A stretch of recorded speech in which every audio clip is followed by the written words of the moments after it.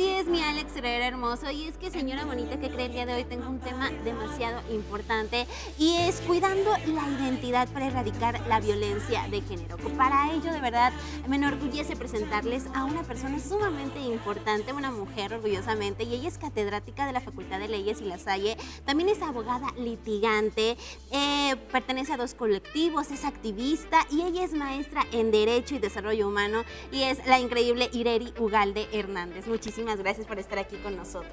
Al contrario, Sidney, gracias por recibirme. Un saludo a todos tus televidentes.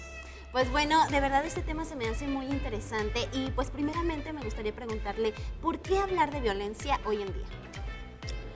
Lamentablemente es un tema que tenemos que tener presente en nuestras vidas. Lamentablemente tu servidora y mi familia fuimos víctimas de un feminicidio y yo no me podía quedar como estática, como pues nada más en la tragedia, viviendo en la tragedia. Decidimos con mi familia enfrentar todo hasta la aprehensión de quien asesinó a mi hermana en 2019. Y bueno, pues a raíz de ahí yo como abogada, como maestra, empecé a investigar todo este tema. ¿Por qué estamos enfrentando tanta violencia? ¿Verdad? Tanta violencia hacia incluso a los animales, hacia los seres vivos, hacia las mujeres en específico, y que entonces hoy en día tengamos una estadística tan alta del feminicidio. Wow, increíble. Y también aquí, como lo dice su tema, em, me salta mucho la palabra y es que cómo podemos cuidar nuestra identidad. Identidad, ¿qué se entiende por identidad? Sí, pareciera que no tiene nada de relación con la violencia, pero es efectivamente, fíjate que no nos está matando el crimen organizado, no nos están matando eh, pues alguien extraño, nos están matando nuestras parejas, nos están violentando nuestra familia, nos están violentando papás que violentan a hijos, hijos que violentan a padres. En casa se está dando esto, perdón la expresión, se, se mama en casa. Desafortunadamente la violencia se está mamando en casa. Entonces tenemos que regresar, ¿verdad?, a lo que vivimos en casa y revisar nuestra identidad. Yo quiero decirles a ti, a todo tu auditorio, que nosotros tenemos 10 identidades y que en todas esas identidades nos conformamos, nos vamos construyendo, vamos armando, ¿verdad?, nuestra vida. Claro que nacemos con una identidad, con unos valores, con un físico que traemos de casa, pero en este ir y venir, pues vamos avanzando y vamos desarrollando identidades. Y hay identidades tan importantes como la psicológica. La identidad psicológica tiene que ver, ¿verdad?, con tu comportamiento. ¿Por qué decides comportarte así? ¿Por qué decides ser una mujer así? ¿Por qué decides ser un hombre así? Sí quiero decirte que hay cosas en la estructura que han tenido que invadir, ¿verdad?, la forma de comportarse. Como yo voy a poner un ejemplo muy rápido, si dos niños se avientan de una resbaladilla, un niño y una niña, si un niño se avienta, el papá le va a decir, aviéntate, oye papá, es que ahí hay un charco, tú aviéntate, no pasa nada.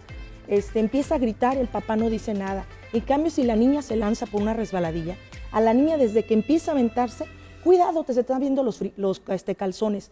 No grites, no grites. Tú no, las mujeres no gritan. Este, papá, me voy a caer al charco. No, cuidado, no te puedes caer. Y no entonces, te puedes ensuciar. No te puedes ensuciar. Entonces crecemos con este ejemplo, con una estructura de las diferencias entre el hombre y la mujer. Al hombre también se le ha enseñado a que tiene que ser el fuerte, a que no tiene que ser el, débil, exacto, a que no tiene que manifestar sus sentimientos, ¿verdad? Y entonces ahora los queremos, eh, por ejemplo, los tuvimos en la guerra, los hombres, les pusimos un fusil, les pusimos una, una en la, Revolución Mexicana, ¿verdad? Los sacamos a la guerra de Ucrania y ahora los queremos sumisos, los queremos tranquilos. Entonces, traen una estructura de que les dijimos, tú tienes que ser el fuerte de la casa. Y luego la mujer, tú tienes que ser la sumisa, la callada, la que no dice nada, la que aguanta todo. Desafortunadamente esta estructura también nos está dando ahorita, nos está rebotando en las circunstancias de que la mujer no está presentando denuncias, ¿verdad? Por acoso, por violencia.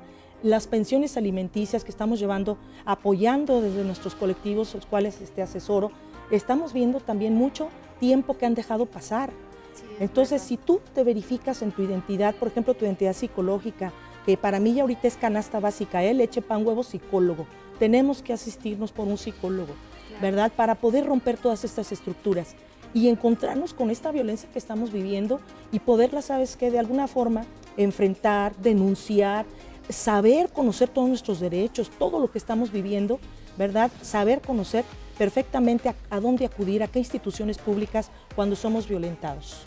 Wow, increíble. Y es que de verdad este es un tema demasiado extenso que de verdad nos gustaría que siguiera viniendo para que nos platicara un poquito exactamente a dónde es a donde tenemos que acudir cuando nosotros nos empezamos a sentir violentadas, principalmente pues a lo mejor con nuestras parejas. ¿Cómo no? Con gusto cuando quieran estoy aquí a la orden. Estoy asesorando ahorita mujeres violentadas desde mi trinchera. Estoy llevando el caso de mi hermana ya casi al final junto con otro exalumno con el apoyo de él, ¿verdad? Y estamos este, pues en la marcha, estamos en, nuestros espacios verificando que se rompan todos estos esquemas y que no es tan fácil, ¿verdad? Y yo invito a todas las mujeres, por favor, que no permitan violencia en casa, que no permitan violencia de ningún sentido, para que entonces podamos empezar un poquito a cambiar esto, estas circunstancias que estamos viviendo. Así es, licenciada, y sabe que es lo mejor de todo, es que nosotras ya no estamos calladas, ya tratamos de ser más visibles, de visibilizar nuestra lucha, y eso es lo mejor de todo, que personas como, como usted, de verdad que para mí es un honor tenerla aquí, nos esté representando y que siempre esté luchando por nuestros derechos, pero también es nuestra responsabilidad luchar por nuestros derechos. Y pues bueno, ¿dónde la podemos encontrar? Con gusto estoy a la orden, soy catedrática de la Facultad de Derecho y Ciencias Sociales, muy orgullosamente Nicolaita, soy docente también en la Universidad La Salle, Ahí están mis redes, con gusto me pueden buscar, ¿verdad? Y apoyar este, en lo que sea posible.